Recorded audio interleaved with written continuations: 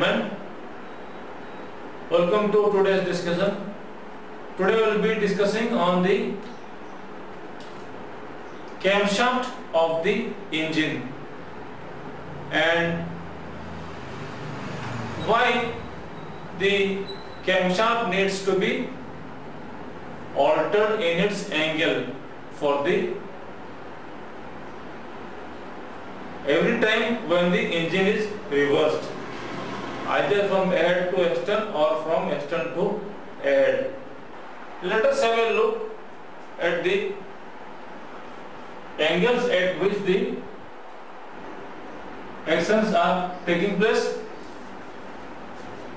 It is this F1 is the point at which the fuel is to be injected.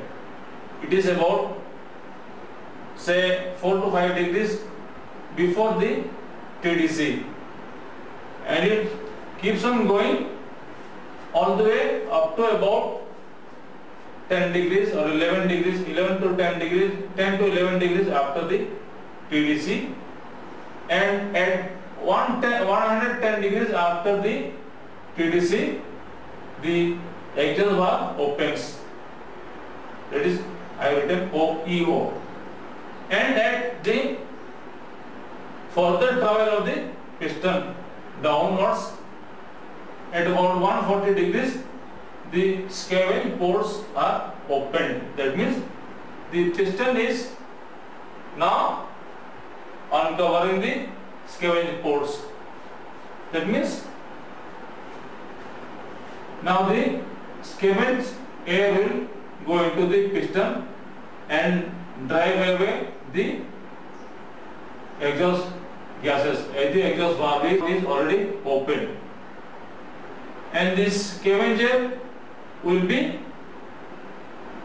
continued up to a one more angle that is symmetrical about the TDC because the scavenging takes place through the scavenge ports. So it is the same angle, this 140 degrees before the TDC.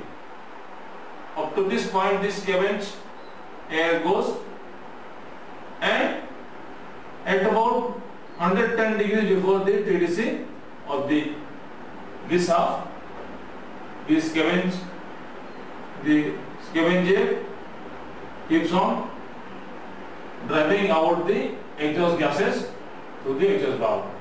So at 110 degrees after the 110 degrees before the TDC it closes. And again at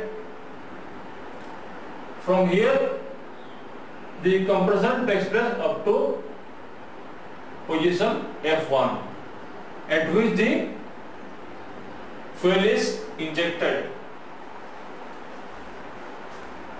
So this is the position of the crank and the piston. This is F1.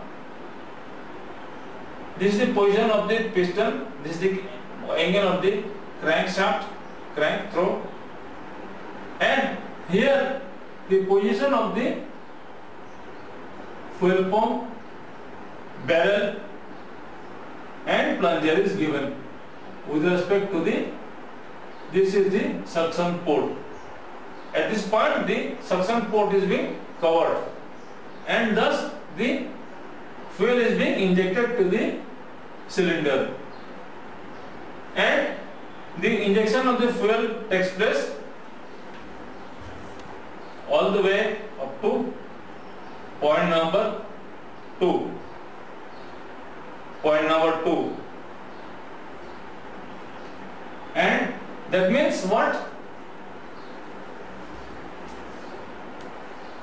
Now that means the fuel pump plunger is at its topmost position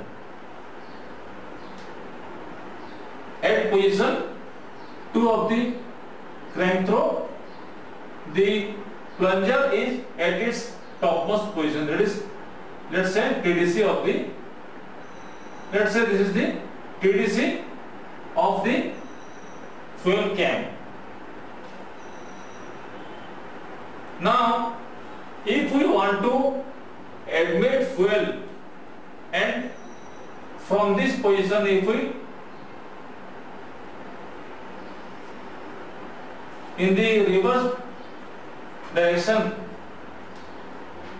if we keep on rotating the crank the fuel pump barrel will the plunger will come down and at certain point at about position number 3 of the crank throw this barrel this plunger will come down and start to uncover the suction port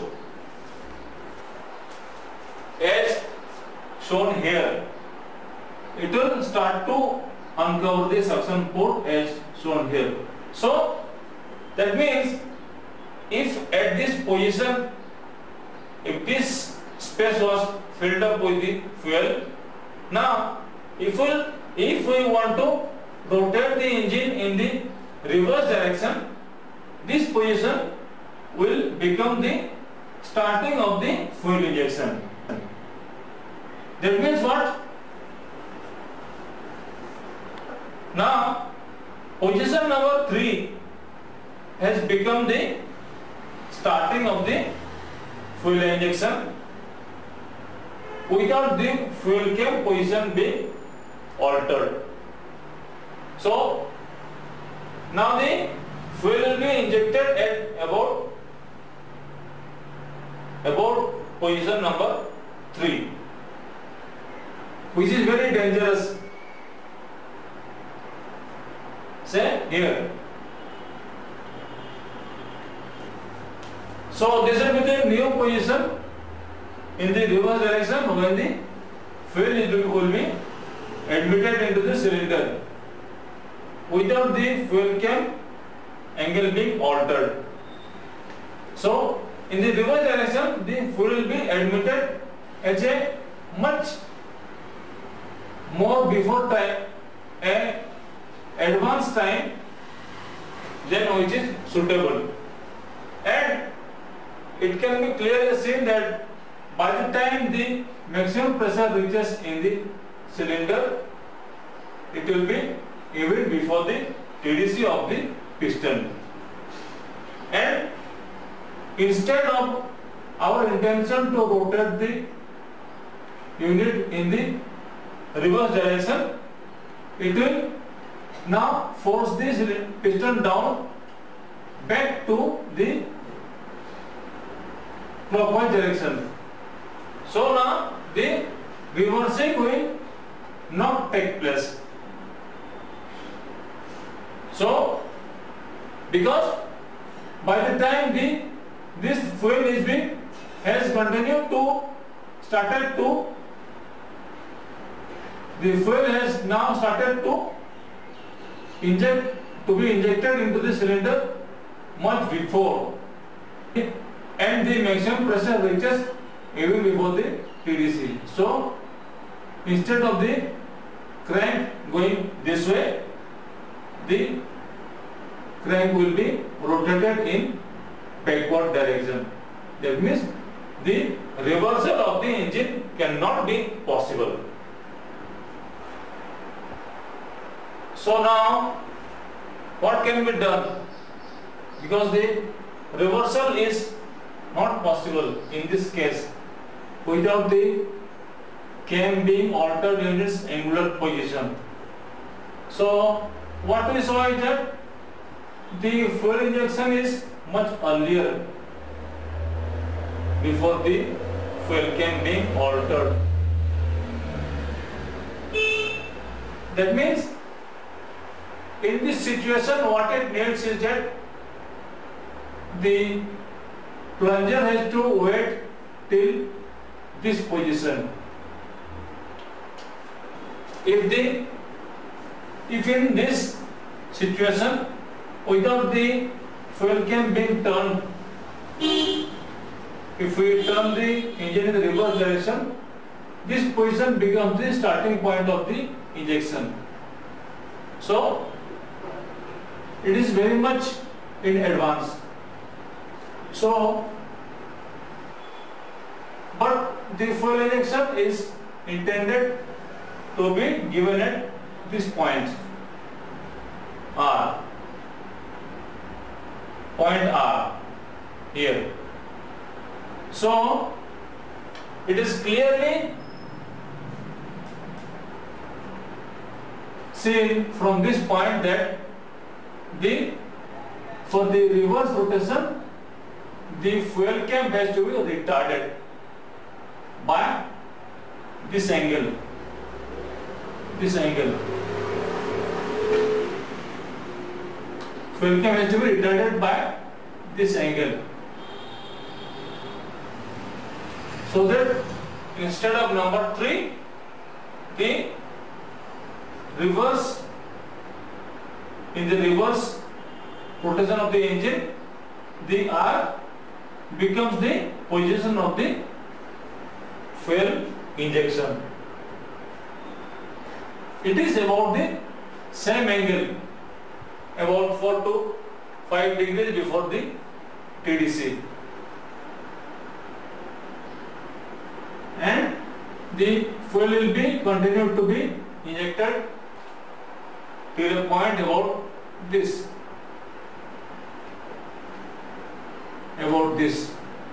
Eh? And again what we see is that at this point it becomes the TDC of the fuel cam so at about this point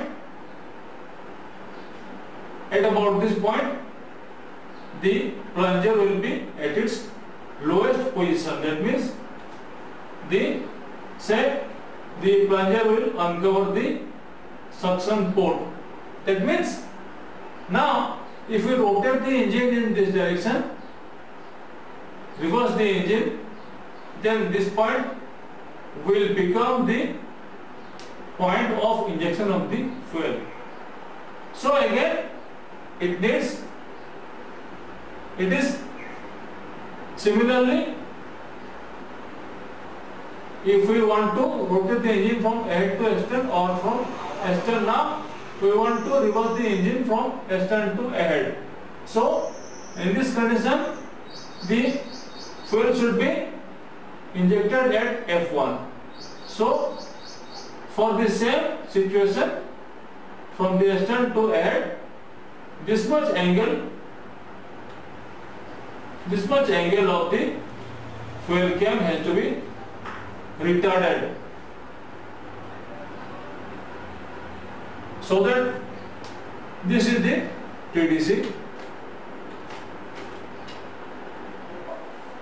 what we saw is that either in the reversal from head to astern or from astern to head the fuel cam needs to be retarded by some angle. So that is the reason that the fuel cam needs to be altered in its angular position for the reversal of the engine. But for the exhaust valve cams what we saw is that exhaust valve opening is at 110 degrees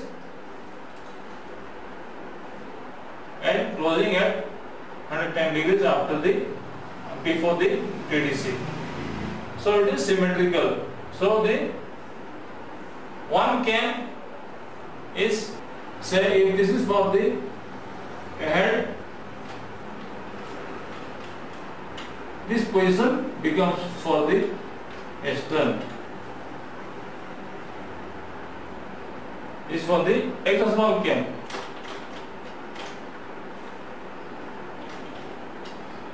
valve cam it is done in various ways according to the engines in B & W engines the individual fuel pump rollers are moved so that they change their angular positions in relation to the camshaft change their angular positions. But in the Sulzer engine, whole of the camshaft is rotated by means of a device, one more component called the lost motion clutch.